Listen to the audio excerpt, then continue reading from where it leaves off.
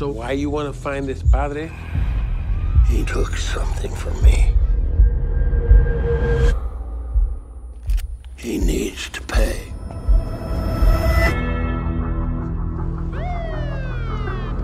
¿Han visto a este hombre? Padre, ¿habla español? I'm not accepting any propositions right now. He's here. Necesito su ayuda en encontrar a esta persona. Padre, I can help. You want to rob a church? They stole from me. They stole my land. And they stole my sister. And I'm going to get her back. So what's the plan? Ask her if she knows where she's going. Church, oída por los gringos. white man, y joya de la plata. money. How many churches are in this city? He's distracted. You sure you want to do this?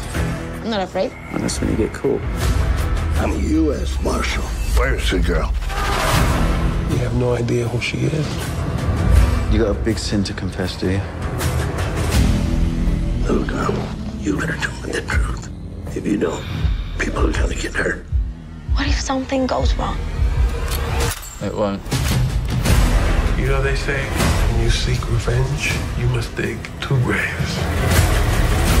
I told you to stick to the script. They're here.